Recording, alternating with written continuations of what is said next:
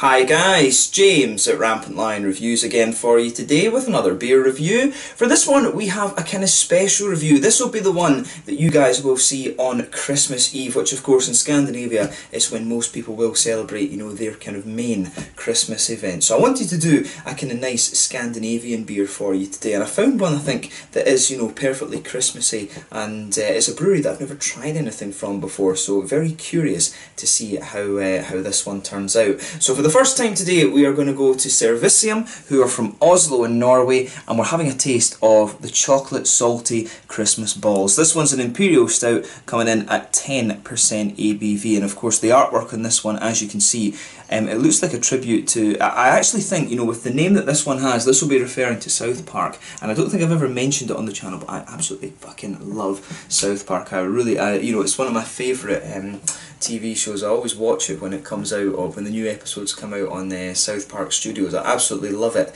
Um, but yeah, I think if if I'm remembering correctly, there's an old episode of South Park where it's uh, Santa gets kidnapped by Al Qaeda or the Taliban, and uh, you know Jesus goes to rescue them, and there's a big gunfight, and then Jesus gets killed by the Taliban basically. And I think this artwork, and you know, going by the name, the chocolate salty Christmas balls, that's always obviously a reference to uh, the song that Chef used to sing in South Park. So yeah, I, I, thought this was very very cool. You know, Christmassy in South Park, what's not to like, and a big imperial stout. And the Scandinavians, um, all three countries of course, tend to do very very well when it comes to the imperial stout category. So as I say, my first time encountering this brewery, I do have another special beer from these guys that I've had for a while that I'm saving for a, a certain number of review. But um, yeah, looking forward to this one. And as always, I hope you guys enjoy my take on this beer. And of course, a Merry Christmas to those of you watching in Scandinavia. And tomorrow tomorrow. A Merry Christmas to those of you watching from the rest of the world. So, uh, so yeah, let's get on with this one then. So as always with my reviews, I'll tell you a little bit about the history of the brewery. If you want to get straight to the tasting, just fast forward. All the usual links are in the description below. That's the brewery website, the link to my other reviews that hopefully I can do in the future from Cervisiam. You will see at least one more beer reviewed from these guys in the near future. There's all the usual social media. If you want to see more beer reviews, do please consider subscribing to the channel. The whole channel, of course, has a geography-based tagging system so you can go into the home page and search for beer based on country, city, state, county, prefecture, whatever it is you're interested in. Do check out the playlist of beers from different countries. There is one there for all the Norwegian beers that I've reviewed for you. I'm adding to that whenever I get the opportunity. And as always, please do get in touch and let me know some of the other beers and breweries that you guys would like to see me review. It's always great to hear from you guys that are watching the videos and the support that you show the channel is hugely appreciated. So anyway, to tell you a little bit about Cervisiam then. So as I mentioned to you earlier, Cervisiam are based in Oslo and they were founded back in April of 2015 by three friends. So this is Pushkin Hama, Martin Borunder and Shea Martinson. But they started homebrewing together in Martin's basement which was you know only a little 20 metre squared space and they started brewing there back in early 2013 and at that time they were calling their early creations brewmans but they went on to win a home a couple of home brewing competitions and this actually led to one of their beers which was called Citrus Warehouse being produced on the larger scale at the Crow Bar Brewery. But soon they started doing contract brewing and they've brewed beers with various different breweries across Scandinavia. They had one at Sugarts, which was in, uh, in Denmark, if I remember correctly, some at Dugges, which is in Gothenburg here in Sweden, uh, Austmann, which I think, I want to say that's Trondheim in Norway they're from, and also Ego, which I believe is another um, I forget if they're from Denmark or Norway, but they brew quite a lot of their beers up there as well. But today they're a seven-person outfit, and uh, in 2017 they opened their first bar, which is called the um, if I'm pronouncing that correctly, which means the cuckoo's nest, and this is in the Grønland neighbourhood of downtown uh, Oslo. And this is where they're actually in talks at the moment, I think, to open up their own brewery at some point as well. So, um, so yeah, it's interesting that. And as I say, this is a brewery that I'm starting to see more and more of, particularly when I go across to Copenhagen. I don't, I, I don't think I've seen um, many of these actually come through the small partiers through Systembolag. I don't think they've got a regular beer in Sweden here yet, but that might be something that they'll do in the future, particularly if they're producing their beers at um, at Dugges as well. So yeah, interesting times for these guys, like I said. But yeah, that's all you really need to know about the brewery just now. There wasn't too much information available on these guys, so you know they started off as a kind of gypsy or contract brewer, I guess you would say, and they are looking to kind of set up their um, their own place at the moment. But there's a lot of good beers coming out of Norway. I mean, you've got Lervig, you've got Amundsen, you've got Cervisiam, Al Austmann are a fairly established name. Uh, there's obviously Nøgne were the ones that kicked it off. Haandbryggeriet. You know, the Norwegians are doing some pretty awesome stuff, and I really do need to get up there. I've heard there's a very good beer festival in uh, in Bergen so I need to get up there at some point and uh, have a little look at that. But um, yeah, that's definitely something I would love to do in the uh, in the fairly near future. But yeah, let's get on to the actual tasting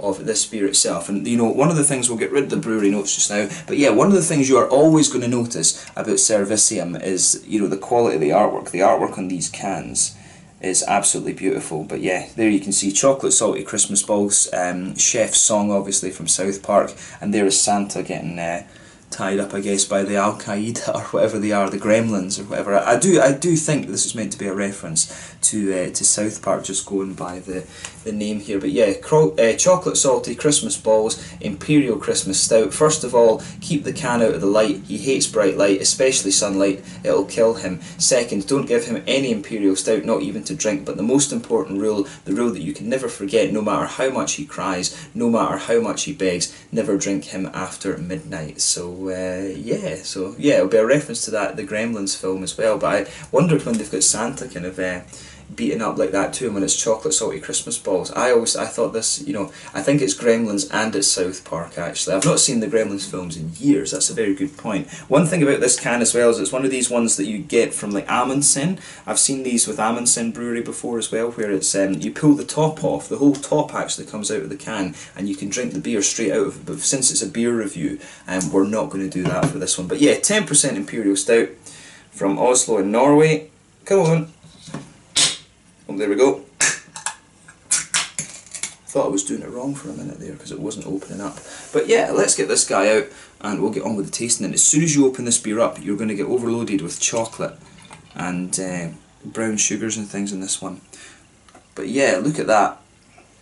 Nothing unexpected from this beer in terms of appearance. You know, it looks pretty much as you would expect. But yeah, let's put a trying to think, yeah, we'll put it to the Santa. This I like the Santa artwork on this one, but yeah.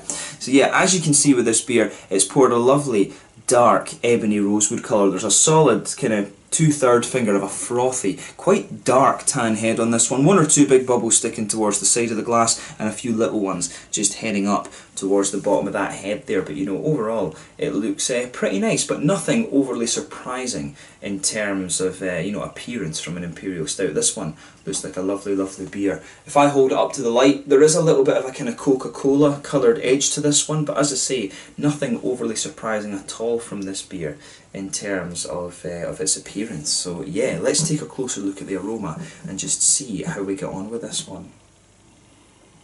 Ooh, it's interesting that it's actually got a little bit of that almost phenoly medicinal smell to it as well, which is kind of interesting. That's the first impression I got of this. It does smell a little bit kind of medicinal, this beer, but you know, beer, as I always like to say, is medicinal. But yeah, lots of nice sweet chocolate in this one yeah, so there's a good mix in there between a sort of high cocoa chocolate and a sweeter milky chocolate. Um, yeah, some nice brown sugars in there. It's got a sort of licorice, you know, that sort of medicinally kind of phenol sort of thing. I think that, you know, it's probably licorice. You know, the Scandinavians absolutely love licorice, and, you know, I've probably just said the wrong thing to start up with. I think, you know, there's definitely a licoricey element to this beer, 100%.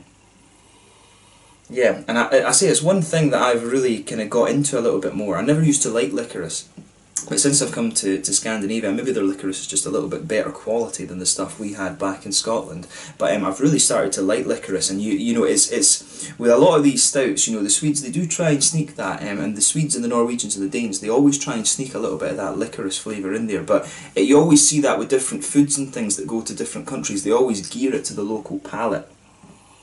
And um, yeah, with this one, definitely a big licoricey note to this. There's maybe some kind of woody and nutty undertones in there, but a lovely big um, chocolatey note. It's kind of a mixture between a sort of milky chocolate and also some higher cocoa um, chocolate as well. But yeah, I really like what this um, what's going on with this beer. It's really just very, very nicely done. Yeah, lovely brown sugars in there as well. I'd say it's a kind of toasty caramel, but at the same time it's quite sweet, and you can pick up a little bit of that sort of um, salty note out of it. And there's maybe an almost like slightly pastry-ish kind of thing or something going on in there too. It's quite an interesting aroma, this one. Little touch of earthiness from the hops, of course, and there's also some kind of red fruity notes in there as well. Like I was saying, this beer for me, it does have a little element of that almost phenoly and uh, medicinal quality that you can sometimes get from the likes of the Belgian quadruples and the Belgian Bruins. But um, yeah, nice little bit of a kind of figgy note in there. There's a little bit of a raisiny sharpness, but also some sort of candied red fruit esters as well. I like how everything is um, is going together in this one. So as I always say, just take a little bit of time and enjoy the aroma of the beer before you get stuck into it. But yeah, very curious to try my first beer from uh, Cervisiam. This is the first time I'm actually tasting one of their beers. So yeah, let's get stuck into the, this one then. This one is the Chocolate Salty Christmas Balls from Cervisiam, a contract kind of gypsy brewer from Oslo in Norway. I hope you guys uh, watching all over Europe that celebrate on the 24th, I hope you guys have a very, very Merry Christmas and thank you for all this your support throughout uh, 2018 it's been. So yeah, let's get stuck into this beer. Slàinte skål.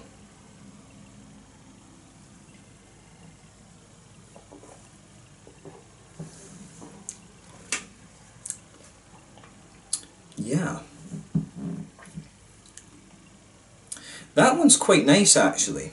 I like how everything's going together in this. It's not quite as sweet as I was expecting. I thought this would be a really big kind of sweet imperial stout this beer.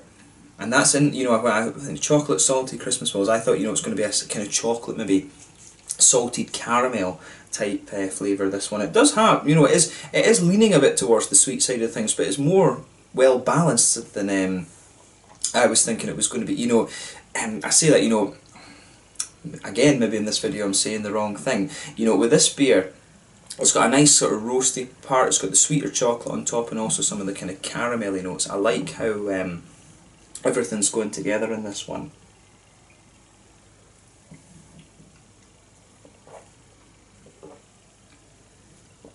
But yeah, I'll say straight away, this is a really nicely done beer.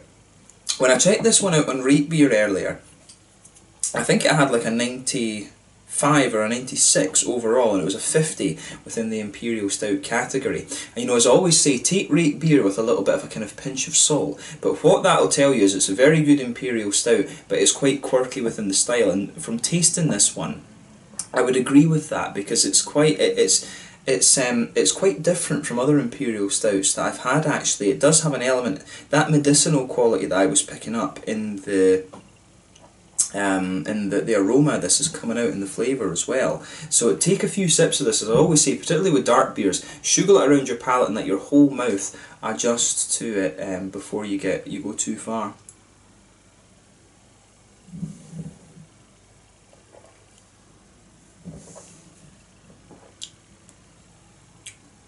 But yeah, let's try and break this down then. So with this beer, you can feel there's a little touch of roasty black malt just kind of forming the linchpin of this beer, but the other things soon come in on top of that and just smooth the whole thing out. So yeah, on top of that you've got this nice, big, quite heavy actually, chocolatey malt. It's almost like a big syrupy chocolate. Um, but yeah, some high, uh, you know, some high cocoa chocolates in there, you know, the 80, 90 percenters, and it's almost like the whole chocolate thing is just infused with licorice. It reminds me of that kind of there is, a, I'm sure there's a Marabou actually that has licorice pieces in it, and it really reminds me of um, of that kind of flavour actually. I'm not sure, I've never had Norwegian chocolate actually, I don't know if Marabou are up in um, Norway as well actually.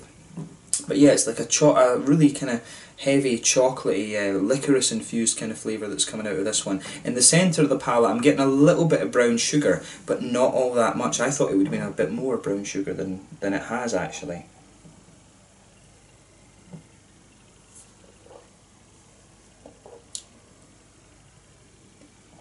Yeah. No, in fairness, in the centre of the palate you can feel this beer comes in and it's quite dark but then it starts to sweeten up. Nice little bit of a, a sweet caramelly sort of thing in this one. As I say, in the middle of the palate it's got that nice, it is quite a sweet caramel, it's not even like toasty or anything like that, it really is quite nice and, uh, and sweet and you can feel that. It, this beer just sweetens up after a little while and the further into the aftertaste you go, the more of these kind of dark chocolatey notes and the more of the sort of licoricey flavours are coming out of this one and it starts to get a little bit some of that roasty black malt starts to push its way out as well but yeah there's a nice sort of um, nutty flavour coming out of this one as well. If you just go towards the front of your palate a little bit but stick towards the middle of the tongue, you can feel there is a little bit of a nutty element just underneath this beer and almost a little touch of a woody flavour. But that's it almost feels like it's mixing quite well with the roasty black malts that are starting to push their way out of the beer as well. On the hoppy side of things then, um,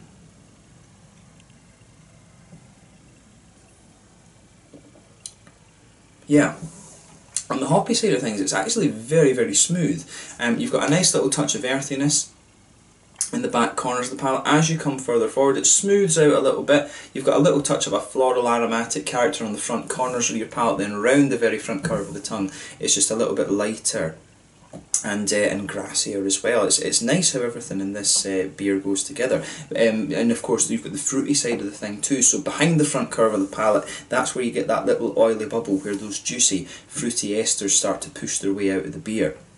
So for me with this one, as I said, there's an element of a kind of almost phenolish um, quality to the beer, but I think it's the, the sort of licoricey element to this one that is uh, giving them that. It didn't say on the website what they'd actually put in this beer or anything, but I wouldn't be surprised if they've put some some licorice in this one to kind of um, give you that flavour. But yeah, it's got that sort of re medicinally red fruity quality that you'd expect of like cough syrup or um, or even that kind of fruit, you know, you can get from very dark chocolate and licorice.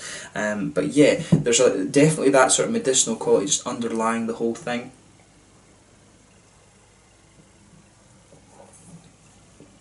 But yeah, initially, it actually has this really juicy red fruity note. There's a lot of a kind of it's almost a little bit like sultanas. It's got a little bit of the raisiny sharpness to it, but it's also got some of the juiciness from the the um, the lighter kind of dried grapes as well, and the other things that you would put in sultanas. Um, it's it's yeah, sultanas is I think a good description descriptor of um, the flavours that you're getting out of this one.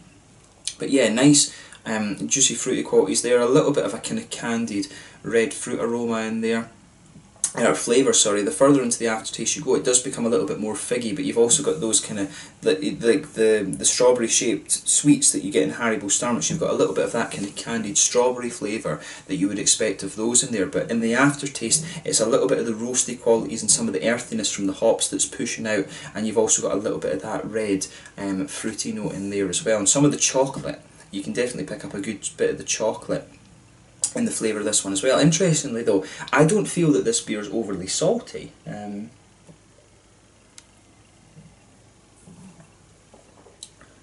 you know, there's maybe a little bit of saltiness in the beginning, but um, I don't, I don't, I don't particularly find this one um, overly salty. But to me, it's a very it's a very nicely done beer. This one, you know, they've done a great job with this, and it does make me very curious about the the other things that I've done. Because the other beer that I have from these guys for a, a certain number review, like I said, I'm not going to reveal it yet. But um, the other beer that I have from these guys is um, is it's a, it's another imperial stout and I think it's a little bit more of a kind of straight up imperial stout. So as I say very very curious to see how um, how that one turns out. So you'll see that review in maybe uh, a couple of months actually, a couple of months before that one's ready. But um, yeah, as I say, a really really nice imperial stout this one, and it's somewhere in between. Uh, it's it's leaning more towards the sweet side of things, but the further you go into the aftertaste, it has a little bit of the more kind of roasty toasty character as well. But yeah, a nice beer this one, and it certainly, as I said, makes me very curious about some of their other beers. So hopefully, I can try an IPA or something from them at some point. Because when you try a new brewery, as I always say you want to try something from the dark end of the spectrum like this, and you also want something from the lighter end, like an IPA or a New England IPA or something like that. So um, yeah, have a go at this beer if you get the chance, and they release a new iteration of it every every year pretty much. In terms of the mouthfeel then, this one is, um, I'd say full-bodied. Carbonation's very, very smooth. It's quite an oily mouthfeel, pardon me, that's coming out of this one. Um, you know, overall, the mouthfeel, um, yeah, I'd say it's oily. It's got a little touch of creaminess to it as well. The, there's a good bit of sweetness to this one, but it's well balanced by a little bit of a kind of roasty earthiness too.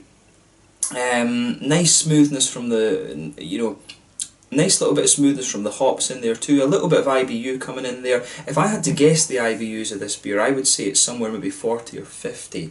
Um, 60, at a push, perhaps. It's, it's probably more likely to be 50 60 IBUs in this beer, I would say, but there's a good bit of sweetness to it as well. Nice bit of juicy, fruity quality. Like I said, a little bit of that almost kind of medicinal cough syrupy type thing. But overall, it's just a very, very solid beer. And as I mentioned earlier, that rate beer rating that this one has of being a very good imperial stout, but a little bit quirky within the style, I think suits this one down to the ground. It's an interesting beer, and I'm certainly glad that I was able to try it. It's a bit over. It, it's a bit. Um, it's about time actually that I reviewed one of these Cervisiam beers. So yeah, let's leave it at that for this one. So again, a very Merry Christmas to those of you that celebrate on the 24th, and tomorrow you will see the start of some Japanese beer reviews. I've got a really nice one uh, waiting for me from my beer dealer in uh, in Osaka that I'll review for you on Christmas Day in Japan. Um, so yeah, really looking forward to that, and I hope you've enjoyed this review, and I do hope that you have a very nice Christmas with friends and family. But thank you again for watching, and I will catch you guys very soon. Until the next time, please like, subscribe, share, all the usual YouTube stuff. Check out my social media,